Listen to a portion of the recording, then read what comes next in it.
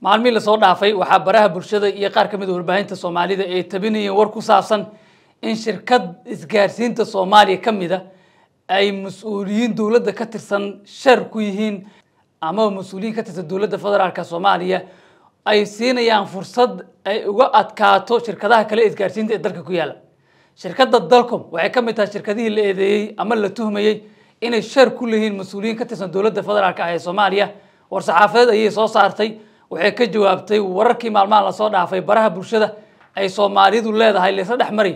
War saxaafadeedkeedana waxay ku sheegtay in shirkaddan ay tahay shirkad soomaaliyeed aysan jirin wax dhibaato ah ee dalka ka wado iyo inay diyaar u tahay tartan ee la gasho shirkadaha kale isgaarsiinta ee dalka ku yaalla iyadoo beenisay inay kaalin ku leeyihiin mas'uuliyiin ka tirsan dowladda federaalka ah ee soomaaliya sidii hore loo baahiyey war saxaafadeedka shirkadda ayaa u qornaa sidaan.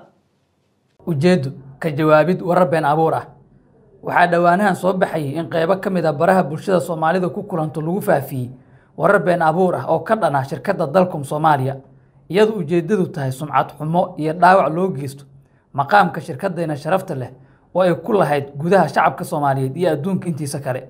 Haddaba waa tuma shirkadda dalcom soomaaliya. Waa shirkad gaar loo leeyahay oo la asaasay sannadkii laba kun iyo saddexdii taas oo waxweyn ka bedeshay isgaarsiinta soomaaliya iyadoo hormuud u noqotay in soomaaliya soo gaarsiiso xeriggii ugu horreeyey ee feebur optig ah oo badda hoostiisa soo mara taasoo dalka ka dhigtay mid ku xiran caalamka iyadoo loo marayo xerigga badda hoostiisa mara waxay ahayd abriil sannadkii laba kun afar iyo tobankii. Markii dalcom soomaaliya ay xeebaha soomaaliya ka soo dejisay easy cable oo ah xerig awood sare leh oo feber optig ah kaas oo isku xiraya caalamka iyo soomaaliya markii ugu horreysay iyadoo falaqeeyaasha saadaaliyeen in ay saameyn weyn ku yeelan doonto horumarka dhaqaale iyo midda siyaasadeed ee soomaaliya. Haddaba helidda internetku waxa uu ku koobnaa oo keliya dadka awoodi kara kharashaadka internetka.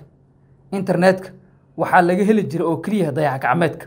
Inta aanay dalcom soomaaliya keenin xerigga internetka ee feber optica dhinaca kale dalcom iyo asaasaheeda maxamed axmed jaamac waxay ku guulaysteen abaalmarino caalami ah sida best connectivity solution for africa connecting somalia closing the final link and best network improvement extending easy mobile into somalia in africom 2014 iyo wholesale service innovation award global telecoms business gtb awards 2015 war saxaafadeedkaas wuxuu ka soo baxay shirkadda dalcom waxayna uga jawaabaysa eedo maalmihii la soo dhaafay loo jeedinayo oo ku aadan in shirkaddan ay shar ku leeyihiin mas'uuliyiin ka tirsan dowladda federaalk soomaaliya gaar ahaan hay'adaha ammaanka weli ma jiro wax war ah oo dhinaca dowladda ka soo baxay.